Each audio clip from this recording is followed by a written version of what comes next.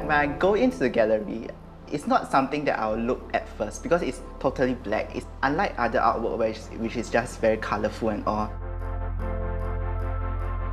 However, upon closer inspection, I realized that it actually embodies the essence of my generation really well. Created by Filipino artist J. Elizalde Navarro, this artwork uses welded metal to create an abstract look, and to me, it shows how Gen Zs are moldable. The eclectic mess of abstract configurations could also represent how we Gen Zs have so many different interests, aspirations, and dreams and have the potential to be shaped into anything. When I was young, I was constantly told that taking STEM-related disciplines will enable me to secure a good future. But as I grew older, I found that it was the arts that really caught to me.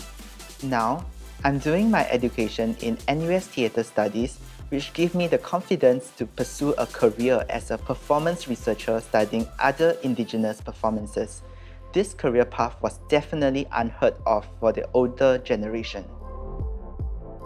Just as how I initially overlooked this sculpture, older people often fail to take our generation seriously.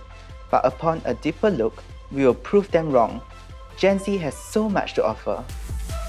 Hi, I'm Jin Ming, and I'm a youth volunteer with Kolektif and National Gallery Singapore, and this is Art in 90 Seconds.